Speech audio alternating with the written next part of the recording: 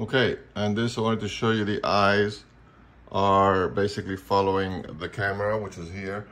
So if you, um, any movement that occurs in front of the eyes will be um, controlled by that camera. So if I move left to right, up and down, the eyes follow.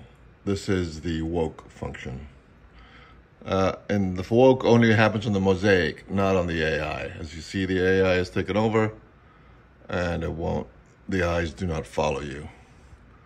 Um, this has a touch screen, so you can move this circle around by dragging it. All these areas you can control by touch. This is running at 4K right now, so it's a little sluggish. And essentially you can um,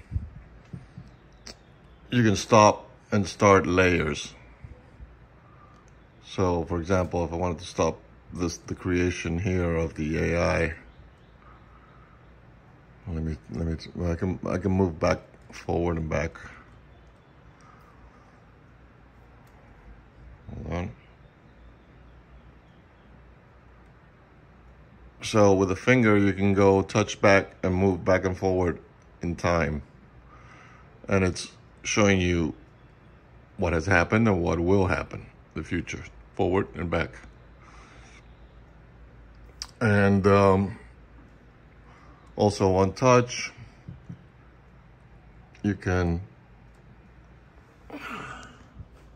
see I stopped the background there with the colors. Touch it again turns green. And it restarts.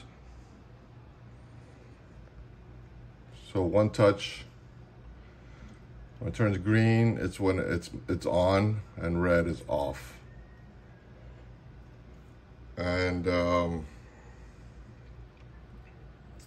you touch here, you touch and uh, create you basically can compose your images the way you like it and then create a, um, a digital file, which is what turns into an NFT. This can be either a still or a moving picture, a video.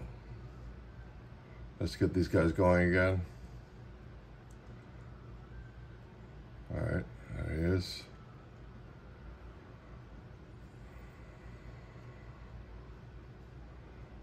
So there is the process by itself. It's autonomous. It's going on by itself and creating random um, non-linear progressions of the original image that you saw earlier. Um, you can, um, again, touch stop and move back in time, forward and backwards.